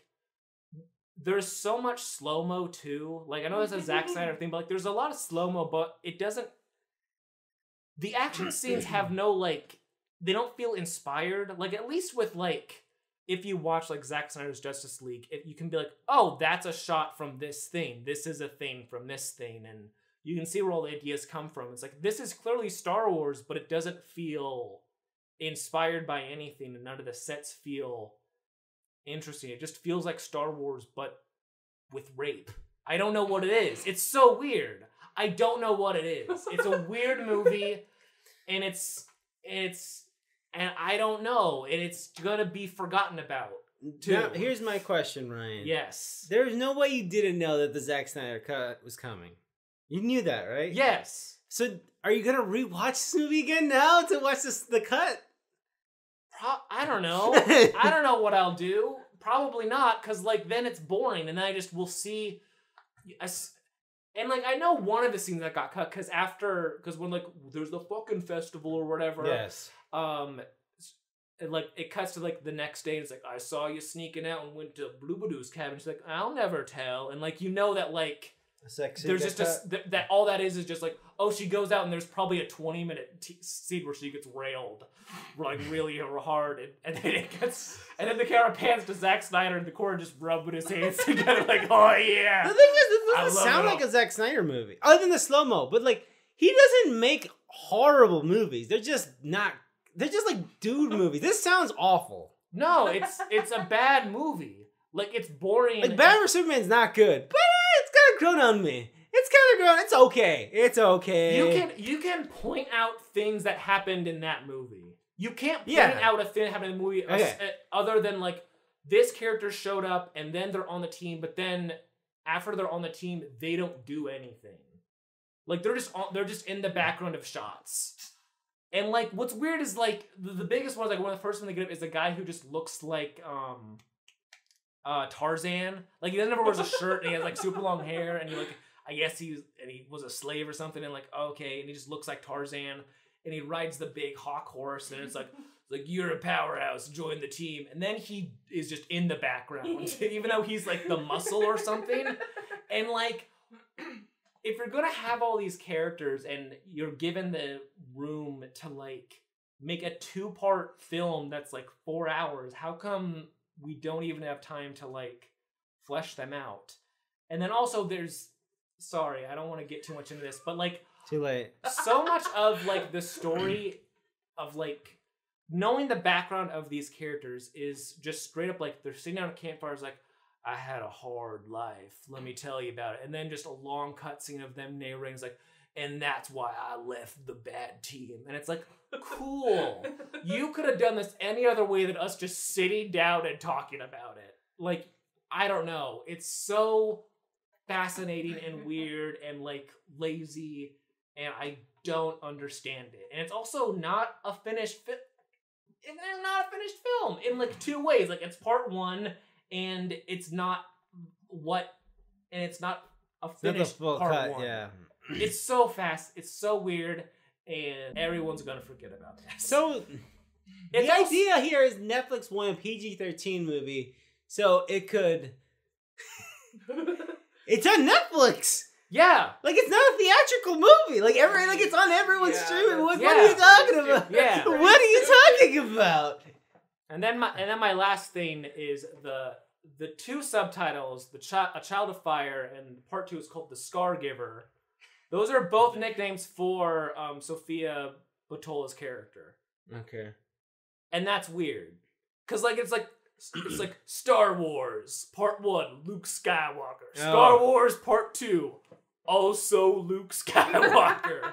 it's just it's just a it's just a you weird get thing. to see how the child of fire becomes the scar giver. No, because in the movie she's the scar giver. They call her the scar Oh. giver, and then she's like, "In the in a past life, I was what one would call a child of fire." And it's like, oh, that's a weird way to put it. Oh. so it's just weird. There's just there's a, just a lot of weird stuff in Are the movie. two parts supposed to be like one big movie, or are Yeah. They, oh, so that would make sense. They're both the same movie. It's Real- just weird. This Real quick, fascinating listeners. weird, yeah. As we usually do this podcast, we watch a bunch of shit on the television while we're recording. uh, and I okay, this is Wall Street. I thought this was Eagle Eye and Carey Mulligan and and uh, Shia LaBeouf were in this, but no, it's just Carey Mulligan and Shia LaBeouf in Wall Street too that came out. No one remembers this was a movie that came out. Ah. Anyways, It's weird seeing Carey Mulligan. in this. it's weird seeing Carey Mulligan too. Yeah, Carey Mulligan making out Shia LaBeouf. that's weird. Yeah. Yikes. that was weird. But like, it's like weird because like Shia LaBeouf is like so smooth baby face. Yeah, and, like, that's a- nowadays he's like you know a gruff homeless man. no, he's was- a priest now. Whatever. but, but like there was no transitional period. Like he just be he just jumped to like He this cannot next divide thing. us. He cannot divide us. That's That's the true. thing. You not familiar with this? no. Oh, after Donald Trump got elected, Oh he no! started a live stream in the middle of New York with a camera and a television where he was live streaming. He was just saying, "He cannot divide us. He cannot divide us." And like, it was just never. And so he just had people coming up from the street just talking, but he Oh. wasn't saying anything meaningful. he cannot divide us. Oh, I see. remember this. Yeah. And then he was like, that. That woman's a liar. I did not do those things. Yeah, 'Cause whatever. wasn't he accused of stuff? I don't feel know. like- I don't know. Yeah. Okay. Cool. I actually don't know. Uh, don't worry. Uh, he's with me Mia Goth now. Well, Cool. yeah, if you need help, we're we're here for you. Anyway, Our podcast studio always has a bed for you. Rebel Moon. That's the most I've known. Like I, I have not. No nothing. one's ta- no one's That's talking the thing. about I'm it. saying is like, why would Netflix do this? We know Zack Snyder's Justice League did not make like it didn't work. Like money, wa- like again, money. Like look at the dollars. Sentiment. I don't give a fuck about sentiment. Money is what I care about. Why did you do this? It's also like they want to get the Snyder fans because they're like, oh, this is such a big fan base, but they don't give a shit about anything unless he makes more Justice League stuff. they don't. They don't care about anything else he makes except for Just Justice let him League. do Excalibur already. What? Just let him do Excalibur. That's what he all wants to do, you know. Uh, He loves yeah. Excalibur. Anyways, let's talk about a good director and a good film. Actually, this is the movie of this director I like the most, so I don't even know. Actually, no, I like the favorite. Anyways, Poor Things. Um, Emma Stone, Mark Ruffalo, Ramy Youssef, Willem Dafoe, uh, Jerrod Carmichael. Yeah. Um, the new movie from Yorgos Lanthimos. Kara, you're a big Yorg head. I am a York. I am a York. Your kids tonight. Um, I guess actually before we start, I guess was there? You mentioned that uh, Jorg and Emma were gonna make a the book adaptation from the author of uh, Eileen. Mhm. Um, has there been a sort of a journey to this movie at all, or is just like he's been cooking secretly? Like here it is. This is what we're doing. Uh, I don't know. Well, because I mean, I know this movie's also based on a book, Oh right, yes, that's true. but so maybe he just was like. Different was- book, Emma. He was. yeah. Return that book to the library. Check this one out. uh, but I mean, that other book I didn't like very much. That's her most popular book. My Year of Rest Oh, and okay. Relaxation. I did not like that book. That book was kind of fucking stupid. Okay. But uh, I was curious to see what he would do with it, but I have not read the Poor Things book. Gotcha. Okay. Well, anyways, poor things. Obviously, highly anticipated. Incredible trailer. Incredible posters. Incredible marketing all around. Carrie, what'd you think of this? Uh, I liked it a lot. Uh, unfortunately, I don't think it connected with me as much as his other movies. I don't know why. I don't know what happened, Mhm. but uh, I still really enjoyed it. But uh, heartbreakingly enough, I feel like this might be a really good and I respect it, but I don't know if I care Mm, movie, mm. and uh, that sucks. I'm so sad. You were looking for a four and a half or five stars. yeah, right, yeah, yeah, exactly. Well, I and I'm only being super critical of it because I love his other movies so Right, much. right. I haven't had less than a stellar reaction to any of his movies, so I just don't know if I was expecting something else. But I, I don't want to make it sound like I I gave this movie four stars. I still really really like it, but it did not hit as hard as I wanted it Mm. to. But it's still fantastic, Mm-hmm. undeniably. Uh, plot, if you don't know what Poor Things is for whatever reason, uh, Willem Dafoe is his doctor, I guess a surgeon, I guess? Yeah. Uh, sort of a really smart, really head of his field. Um, but his dad himself uh, practiced surgeries on his body. Mhm. Uh, so he, you know, looks a little rough, A little a different. little, little different. And everybody's like, look at this freak. And then Ramy's all like, ah, he's cool though. And then Willem's like, come work for me, buddy. Come on, I got a, I got a job for you uh, to come to my house and chronicle something. And then he's all like, I brought a lady back to life. Although she doesn't, she's got the ch- the brain of a baby. And she's got to Well, learn but this is the last time we'll bring that up. yeah. Uh, she needs to know. She needs to figure out the world, and you need to chronicle it. Uh, and then she starts, you know, growing. The brain, brain starts doing stuff. It's like, ah, I'm, uh, I, I'm starting to have desires and wants, and uh, you know, thoughts of my own, and not a, a, a fucking little robot or Frankenstein thing or Frankenstein's monster. You can just whatever. Well, Frankenstein's monster also had bad Elliot. He also had thoughts. Anyways, We're, we're at the part of Frankenstein where he sits in the cabin and learns how to talk. Ex- yeah. um. So yeah, and then uh, Emma Stone go- goes off on an adventure with uh, fucking Mark Ruffalo, who's the lawyer, but he shows up and then disappears. The lawyer who's gonna make an ironclad wedding, like some like an ironclad agreement, so that Emma Stone can't and Ramy can't leave or something like that. I don't remember what he was there to do. But they was there to do like a, it was essentially like a bill of sale. yeah, essentially. And then uh, she goes with uh, Mark Ruffalo on an adventure of discovery. planning to come back. Yes. she just wants and to then an marry adventure. him. Yeah. But first, I gotta go see what's going on over there. yes. Um, yeah. Ryan, you, you were okay on this movie. Yeah, it's fine. It it really didn't connect with me. My my joke review, which is a little serious, was just like there's just about 18 too many scenes of like just fucking for for my personal taste. There's a lot of sex. If It's a big thing with this it's lady. a big thing with this movie and this lady, so I really recommend you do not watch with your parents. like, I love that Emma Stone. It's like, yeah. Did you watch well, it with your parents? No, I watched Okay. with Carrie. But like, I'm just oh. saying, Oh. I'm just saying, do not. but yeah, it just didn't connect with me as much. But I feel that way about a lot of the Yorgos movies. Where like, I like so much of like what they. I I like a lot of like little things, but like the way they're tied together just does not connect with me. Like I feel like I should really like the lobster because like, Mm, it's you should like the lobster. I know, no, I know, cause and it's also just like very similar, like tonally and with its ideas for like a lot of stuff I really like, but there's just something about them. Just like it just doesn't like hit home with me, and maybe it's like all the like aggressive sexual stuff that just doesn't. Connect with me personally. And this movie has a lot of that, and like I like, I like, and I do appreciate like what this one does with that more. Like ideally because it's more about you know liberation and doing like what she wants to do and not you know being controlled and being free to do her own thing. I like that a lot. It just is not the movie for Ryan. It's very funny though. Um, Willem Dafoe is hilarious. I like Margaret Qualley coming back at the last Oh, shit. minute as like as like the I was like, weird okay. as the weird like Failed replacement. failed replacement.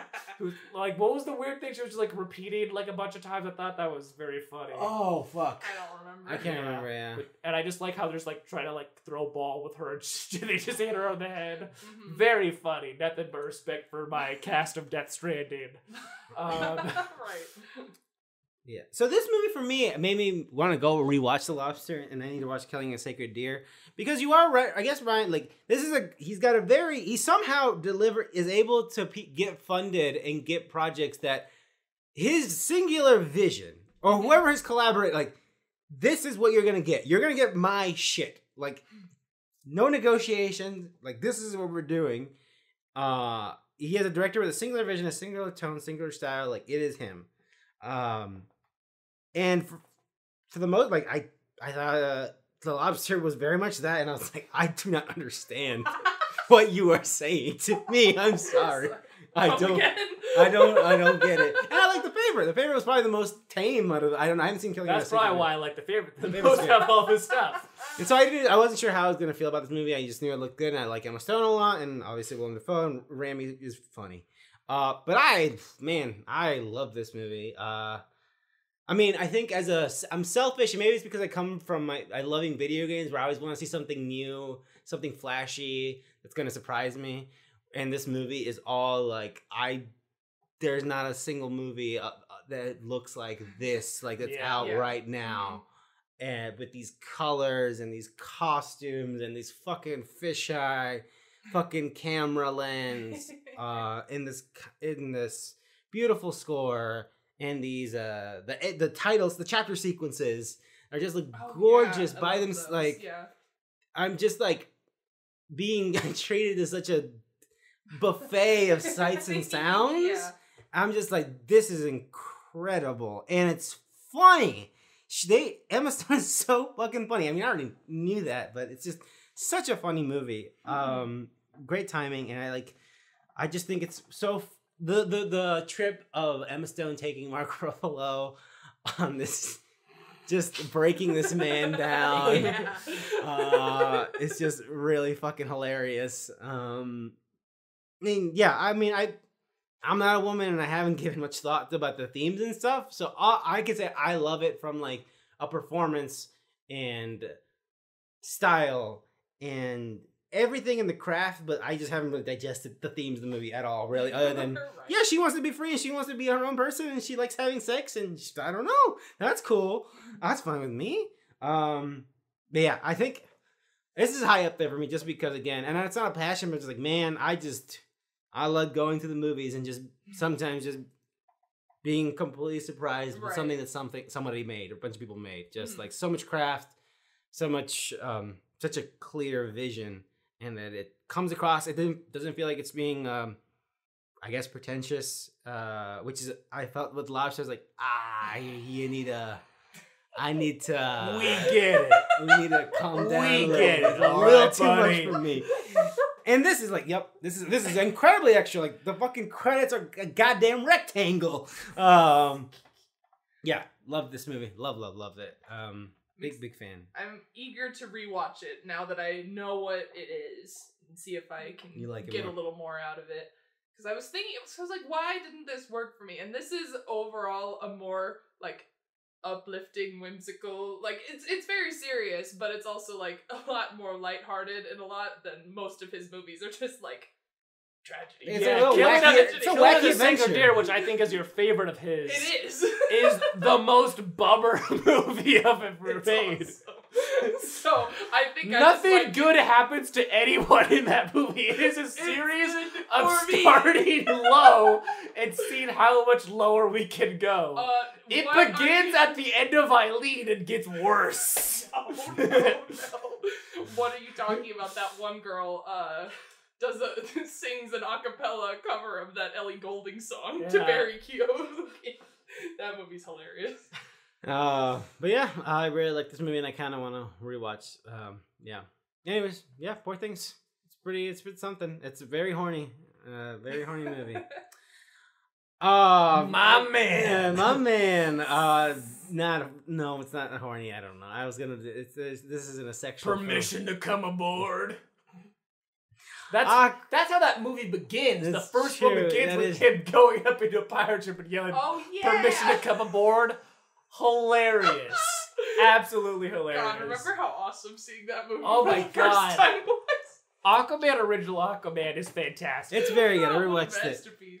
But we're here to talk about Aquaman in the Lost Kingdom, a sequel that uh, this podcast has been heavily anticipating. Carrie hasn't been able to watch it yet. Nope. Uh, James Wan is back. the original plan was day one, baby, and look at us all now. Oops. Uh, the DCEU is done. Also, the last DCEU film. Yeah, ended with a movie that, uh, Sucks probably. Uh, it's not even that- inconsequential film. Like Yeah, yeah. Like this is like nothing. this is like Ant Man one. Nothing Yes. in this matters to like the a grander scale of things.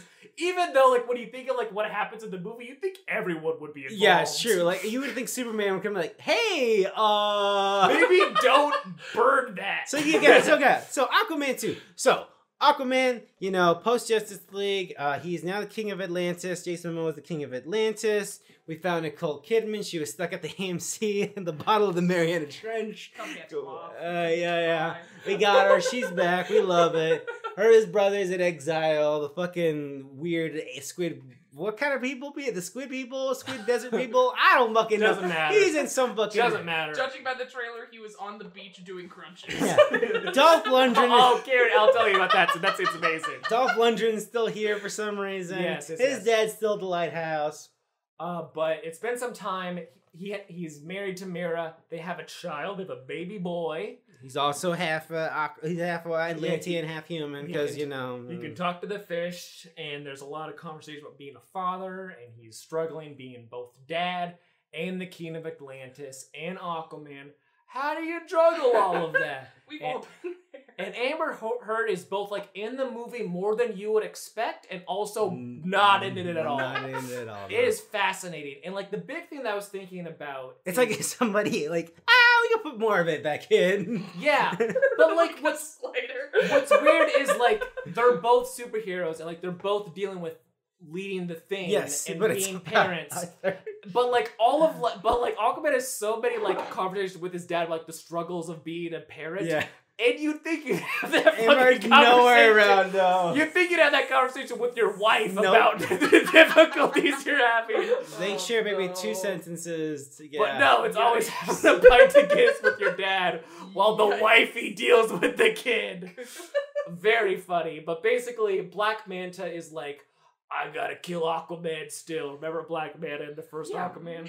Yeah. But he Aquaman find killed his dad or yeah, very funny.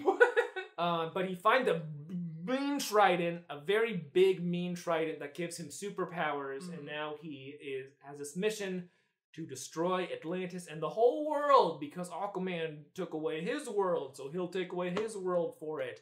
And the only thing Aquaman can do because Amber Heard's busy, um, and also from what I've heard from James Wan, that wasn't the plan. Sure, is he they need to uh, break Patrick Wilson out of prison so him and his brother go can go on an adventure to stop Black Manta to save Atlantis and the world. You forgot the biggest, most Oh. important part.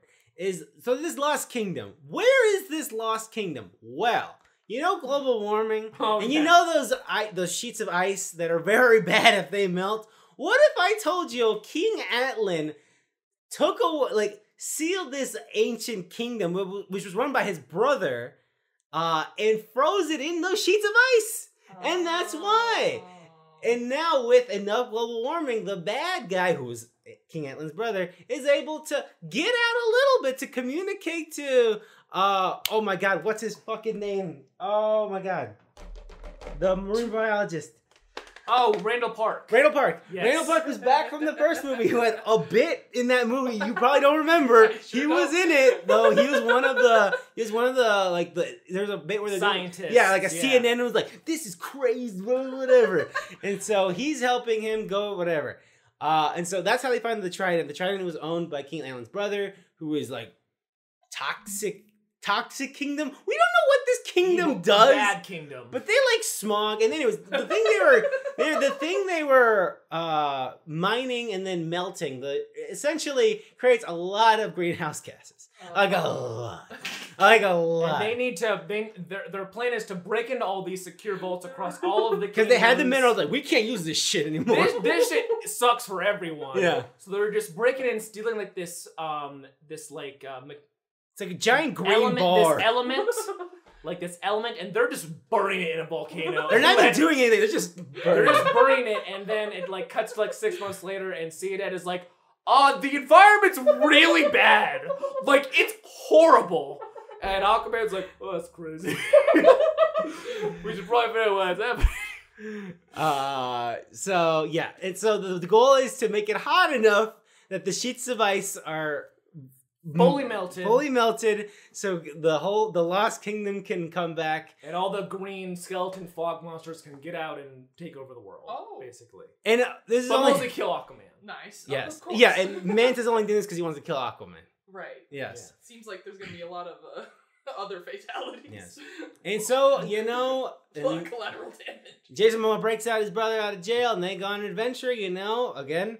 Uh, the- the King Atlan and his brother had disagreements, and you know uh, Jason Momoa and Patrick Wilson had disagreements. Oh, It's very. You see what what makes this movie like almost work is like it's very similar to like the first one. It's like a B side, but like you're like, oh, there's a reason why this is the B side and not the A side. yeah, because like they're going, they're just like hopping around in different areas, and they're all like interesting But visually, like not the the- weird desert places, Yeah. weird like. but the desert bit is not as good as the it's old. not as good, yeah, because they did they did a better one the last one. Weird like forest area, this like James Bond ass villain like Yeah. like fortress, and then the fun Patrick Wilson thing is like when they go into the when he goes to break out, he's like skinny and like and he's like because he's like hasn't had water in like Yeah, like the keeping him Years. dehydrated, giving him enough water to be oh. alive. Oh. yeah. So like they break him out and they're like running towards the ocean and then like he craves the ocean. He craves the ocean. as they're being like chased by like like these weird like bug skeleton monsters I think they are Yeah. or the riding bugs I can't remember Yeah. and then like they're they got Aquaman they almost got Patrick Wilson and then like falls on the beach and the waves like fall over him and then they Oh. come He back gets- and then he comes up and then he is absolutely ripped He got the water back. That's it He's is, hydrated. it is absolutely awesome and then he just immediately starts beating them all to death with his Leonard fist fucking calamity oh again and hydrate again. Listen, oh my god. listen, this movie made me think like if you were looking for like a traditional like looking Aquaman, Patrick yeah, Wilson he might would have have been, been. it. He would have been like the classic. the Aquaman. classic Aquaman, because like give him that blonde hair, Yeah. that ripped. Yeah, That is classic Aquaman. like I like Jason Momoa's Aquaman; it's very fun, but that is a this is a good funny Aquaman. Patrick Wilson is always a good alternative for any role That ever. is true. Um, but yeah, it and this then movie. just non- nothing interesting happens. No, it's yeah, that's weird. the most interesting part. that sounds so And So like- like, you you completely bypass. They go to this jungle, but you like to to the point that this movie doesn't go far enough. Like this jungle has huge, giant creatures. Like all the creatures are huge. Like they're massive, and it's like a footnote in this movie. yeah, It's like it's funny. It's funny, but it's like you could have done a whole bit on this just- octopus playing fucking drums, but nothing Yeah. is as fun as that. Yeah. just dip into Oh yeah, Skull the, for oc- a bit. the octopus playing drums No. is a, the octopus. the octopus playing drums is a character in this movie. He is their a character, yes. He's their buddy that comes along on their mission. Yeah, but he's very not playing the drums. No. He's not playing the drums. People much. loved this guy. Yeah. I and I did. did. I did. But yeah, this movie's weird because like it has all the stuff, but like for some reason it just doesn't Go all the connect. way. It's like it's like the heart is not there. Mm. And like maybe that's because like the villain. I mean, the villain of Aquaman one wasn't very interesting. It was just- Patrick Wilson? Well, like conceptually, because he's like, I'm I want to rule the kingdom. You know what I mean? Yeah, Like he was also mad about pollution. yes, He was mad. Yes, But again, they had a fight in that giant arena, and that was cool. Was that was cool. Yeah. There's nothing like that in this movie. No. It's all mid, like it's a superhero movie. Like it's Yeah. like the king guy. He's just a CGI man. He's not an actor playing him. He's just a monster man. yeah. He's not. So it doesn't It, feel. it just doesn't feel. It doesn't feel like anything. Again, Yeah. the end of Aquaman has all these armies and families of ocean creatures coming together and fighting, and then it ends with a giant fight in the fucking stormy. Like, that's awesome. Yeah. Nothing like that in this movie. There's It's nothing. so weird. Yeah, it just feels like again, you mentioned or walking out of the theater, it feels like the first Aquaman's like they're making us do an Aquaman movie. I don't fucking know why, but I don't think we're gonna get another chance to do this. So go crazy. Dinosaurs in the center of the earth? Sure, I don't fucking know. Octopus with drums? Go ahead. I don't care. And this one, Is like we did everything. yeah. We did everything, and now there's nothing. Yeah. And I feel like I don't know anything about Aquaman comics. Like I don't know nothing about Aquaman comics. Like there's got to be more weird guys because like he's a weird guy. Yeah, like this is the one where like um correct me if I'm wrong, but this is the one where he actually talks to all of the ocean life. Yeah. this one. And they don't do that they, they do a bit of it and that's it. Yeah. They could have done something more I don't know. Yeah. Tell the fucking starfish to go fucking slap fucking slap people's heads off. I don't know. Do something crazy. Yeah. Yeah. Yeah. So yeah, this just, movie's just just disappointing. I think Yeah. but the, like the key of again, Jason Momoa and Patrick Wilson bouncing off each other, great. That's Yeah, great. Love it. That's seemed- fantastic. It seemed from the trailer, it seemed like it would be some some bro bro bro. I just wish they got into more wacky sounds hilarious. situations. Yeah. Yeah. Mm.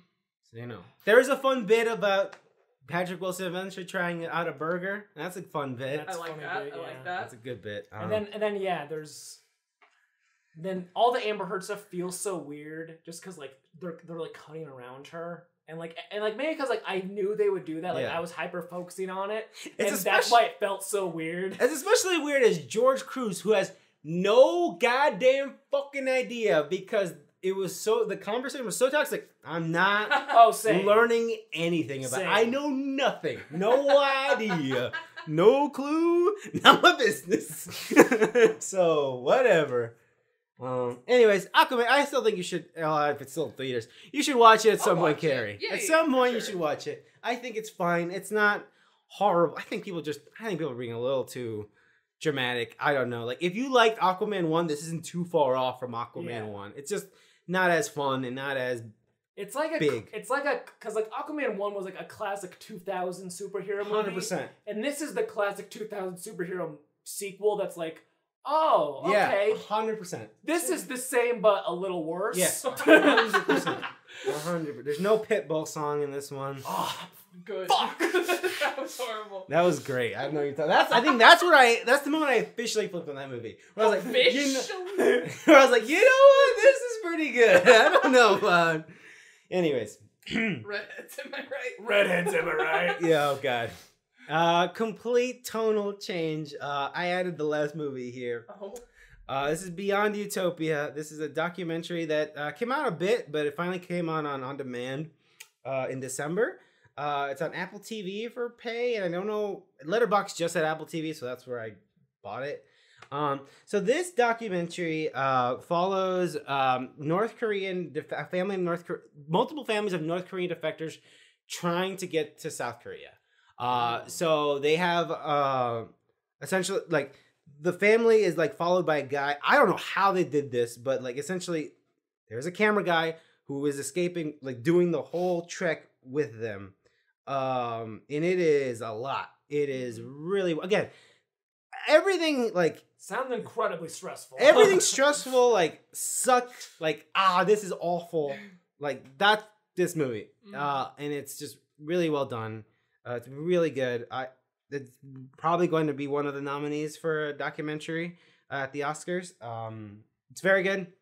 Uh, so if for some reason you find yourself in the mood for that, check it out. It's uh, it's a little bit of a r- some rough stuff, but um, the movie has some uh, some happy endings and some sad endings. Um, but yeah, Beyond Utopia, pretty good. Check it out. You'll probably hear more of it at the Oscars. Pretty good. Nice. Anyways, January. There ain't jack shit, huh? Uh, well, I mean, we did already watch the masterpiece of January. I was gonna say, can we just talk about Night Swim now? But then we have fuck shit. Nothing to No, talk no, no. about. We'll, we'll save it. We'll save it. Night Swim is the movie we're talking about, which was again the first January, the first movie of the Every January, the first movie to count is always a Blumhouse yes, thing. Damn right. Fantasy God bless Island, America. Truth or Dare, Megan. Make Mithrigan. mm, Threegan. Yeah, they know what they're getting. They're doing over They there. they know that this is the time to make money because nothing else is gonna come out this I month. guess, yeah. Um. So yeah, we'll talk about Night Swim Haunted Pool. in January. Wyatt Russell. mean Girls, the musical, but it's not advertised as the musical. Um. Yeah. Do we think this is gonna do good? I don't think so. I think I I don't know. I live in a bizarro world where it seems like Paramount itself doesn't have confidence in it. Like, Yeah. why is it coming out in January? It's weird. Yeah. Yeah. I have no idea. I it's mean- just like I understand. Like it's based on the musical, which I've heard is popular, hmm and you'd think they'd say the musical because that way people who But they're like convinced that Mean if you say it's a musical, that people don't watch it, which I don't know. I don't get that, but like, but then like people just think it's a remake of Mean Girls. Yes, and people are like, "What the fuck is and this?" People love Mean Girls. Yes. So they're not gonna give a shit about this. Yeah, that's a. I don't understand. But they also do care. It's a weird conundrum around like equals profit question mark. Yeah. I don't know. I don't get it. There are songs in this movie. I'm interested to see what they are. I like Mean Girls.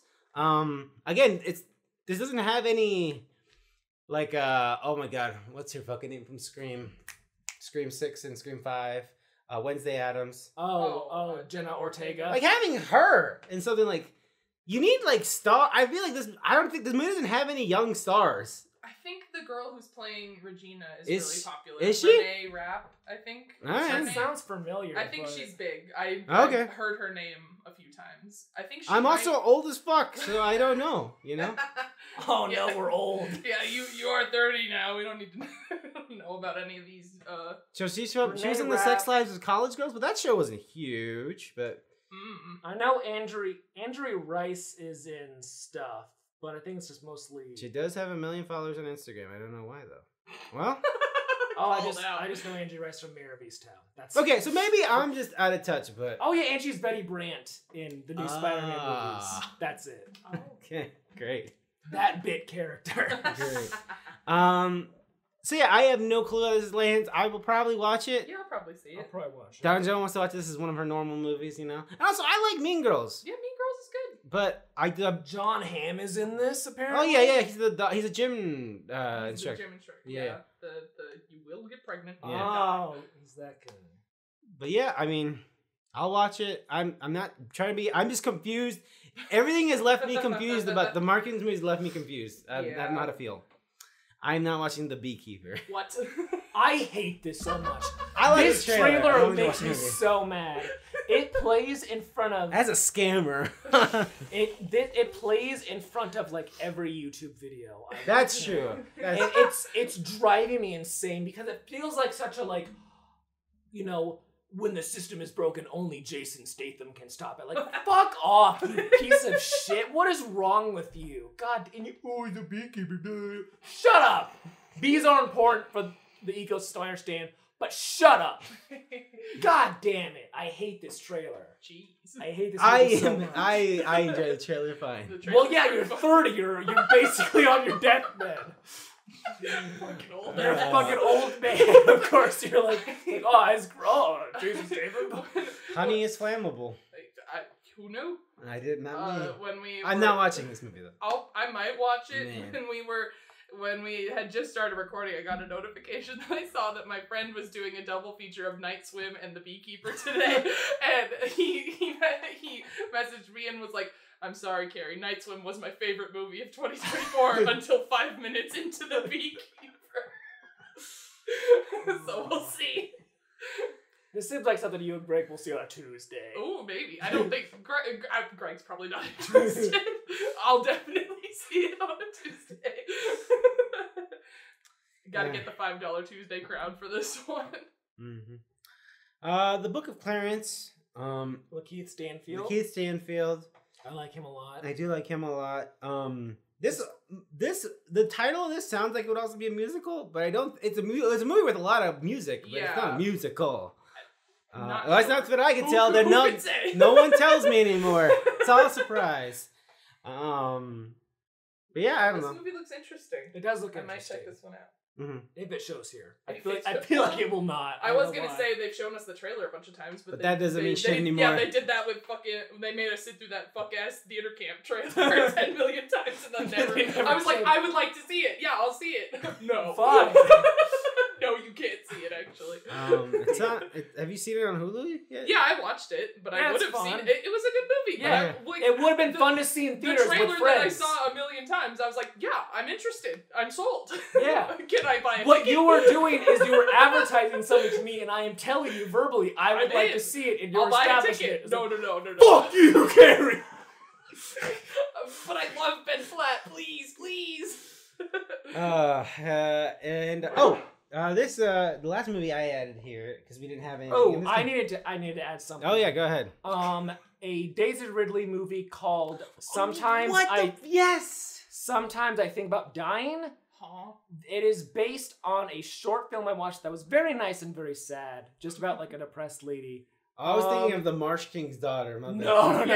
I was thinking. I thought I was like, why is Ryan bringing that up? Because No, I no. saw that on the list and I was like, no, I'm not adding that. no, uh, it's based on a short film I've seen, and the short film was very nice, very sweet, very sad, just because it's just about a sad woman, and then she she like meets someone, and then you know she starts thinking about life a little better, uh, mostly through the idea of you know communicating these difficult feelings as opposed to just keeping them pushed down and letting them keep boiling over till they consume you. Very nice idea for a short film. Daisy Ridley's in it. I I want her. It sucks that like out of all the Star Wars people, it feels like she's done the least. Yeah, that's what I was gonna say. Yeah, that's weird. So I want I want her to have a win I don't know what the fuck. yeah. because Adam Um, Driver, Oscar Isaac are killing it right now. She now. was in Murder on the Orient Express. That was Excuse you. that was like- mid Star Wars. Also, that, That was. was eight years ago, Karen. and it was awesome. she was also one of forty people in that movie. There's also in Chaos Walking. well, that Oh, that no, sh- exactly. She needs something because But this is also a small movie. It is a this small is a movie. tiny movie. It is a very tiny movie, but So we'll she see if it needs gets here. something because she is very good in Star Wars: Last Jedi. No one is good in Rise of Skywalker, so I just wanted to have something. So I'm looking forward to this one. I hear they're still doing a, another Star Wars movie with uh That's I've read that they want to do a movie with her character. yeah. So which is like okay, is that is that next- not just the next Star Wars movie? No, it's a spin-off. Okay, It's like, what? okay. I don't care. I don't, I don't care. want it. I don't Care. care. Life's not fair. So George, what is what is the Society of Snow? Uh, Society of Snow. So this is another one that's probably going to be a it might be an international um, nominee. Uh, so this gets dropped on Netflix, I think, this week. So this is a movie about the 1972 uh, Uruguayan, yeah, Uruguayan uh, plane that crashed on the way to Chile in the Andes Mountains, and the players wound up eating each other. So this is a, this is an actual event that happened, and it inspired a lot of like, wouldn't that be crazy if your plane crashed and then You're eat a guy. yeah, exactly. It, what? Yeah, exactly. And so this is a movie based on the actual thing that happened. I seen 42 minutes of this movie at a family gathering up until the point where they're gonna start eating each other and we're gonna eat dinner. So I was like, I'm gonna turn this off. um, but it was really good. I liked what I saw so far. Uh, it seems very good. Um, so yeah, check out. Uh, I don't know. We'll see. I don't know. That seems good. Check out the Society of the Snow, maybe. Uh, that's it. That's January, baby. January. Nah, nah. The Beekeeper and Night Swim doing a lot of heavy January lifting. The quality. Thank God. Yeah. We might just need to do the best of next month and move Night Swim to February. I don't know. What? I don't know. It's rough. No, no, sorry, sorry. Why didn't they? I'm just super perplexed with Rebel Moon. Okay. oh, thank God. I had so much to talk about. Why not spend money on at least a theatrical release for this garbage? I don't know. Like you care so much that you're like, it's gotta be PG-13, Zach. You're gonna uh, we're gonna get you two parts and two director's cuts. So that's two that's four movies essentially. And we're not even doing a January theater. I don't This, fucking. this is why I feel like the executives I don't at understand. Netflix, for some reason, they have infinite money, even though the company is seems to always be at a net Never loss. profited. to be fair, they did make a. They were finally the password change did help them. It it, said, Oh, it completely God. worked for them. It completely worked. So now, yeah, that's uh. So they're doing good now, I guess. Um, Thank God. I love it when a big company comes out on top. more Rebel Moon, please. More Rebel Moon, please. Is this the season of the witch or season of the witch trailer? We're watching the Nicolas Cage's season of That's the witch. my favorite season. Um. So yeah, I guess look forward to January. I don't know. It might be we might be uh catching up uh with some movies that are gonna get. Right. Yeah. Yeah. We're probably in the running for the Oscars. I want to see Zone of Interest. Yeah. When the fuck is that coming Yeah, I here? don't know. I want to see. Give me in that zone. All of Us Strangers because I love Andrew I want- Scott so much. I don't think I think the Taste of Things is gonna get here in February probably.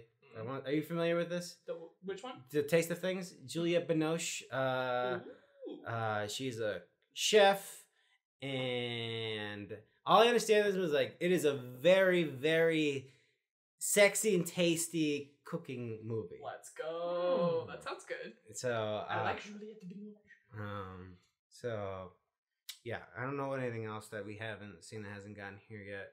Um, not watching Maestro. Anyways, um, Me and my mom are gonna go see The Color Purple at some point. oh yeah, I want to see that.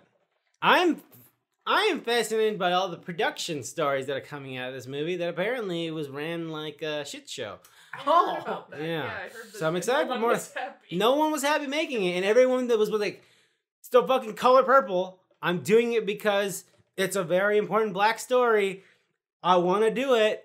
Right. No one else seems here to do it, so yeah, Awesome. we shall see. yeah. Uh, so I'm very excited for that. I almost watched the actual color purple, but then everyone was like, because that's a Steven Spielberg movie based on a book, and then everyone was like, this feels like a very uh Steven Spielberg adaptation Mm.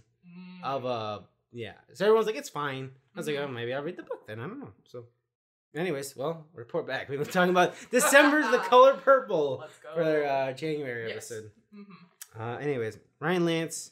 If, What's up? If Rebel, the director's cut of Rebel Moon comes out Oh, in the next few weeks, and I'm forced to watch it. and you're forced to, to watch, watch it. it.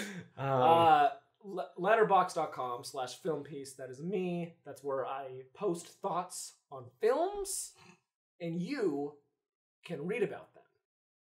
Crazy concept, right? It's a new uh, thing I'm trying. I'm trying once again. I'm reacting to the trailer we're watching right now. Remember when Vince Vaughn was uh leading every man in films? Uh, Ron Howard, you know. got his brother in there.